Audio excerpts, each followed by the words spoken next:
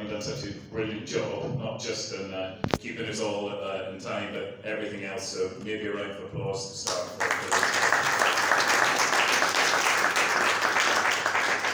I should say in my 30 or so years uh, working for record labels, I've been to a lot of music conferences. I'm pausing now for somebody to say you look far too young, but thanks for And genuinely, I've been really impressed by the level of understanding, engagement, and open discussions that we've seen here in the last couple of days. So thank you very much for inviting me to. Last night at dinner, someone mentioned to me that they thought I uh, was very grumpy when I did my presentation yesterday. I won't say who it was, but um, she might have been from Barbados.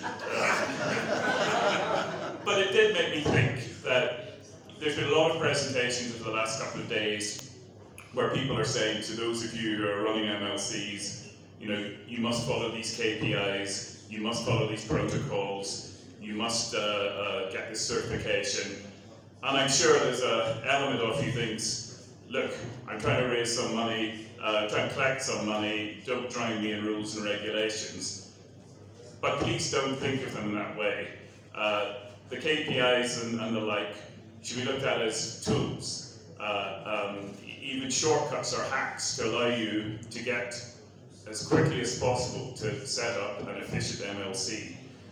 I know they're not just made up by someone in an ivory tower, you know, as, as the Bible says, there's nothing new under the sun. And all the challenges the people building their MLCs are, are facing now, we've seen it around the world before in different places. Whether it's SAMPRA, which is more established in South Africa, or even yesterday we were discussing that it really wasn't that long ago where we had to build from absolutely scratch in the ex-Soviet countries MLCs and collecting societies. And today, even in those small markets, where GDP is quite modest, you know, we collect several million dollars of income a, a year, you know, adding up to some hundred million dollars a year. So I'm sure it's only a matter of time before we can get there with Africa.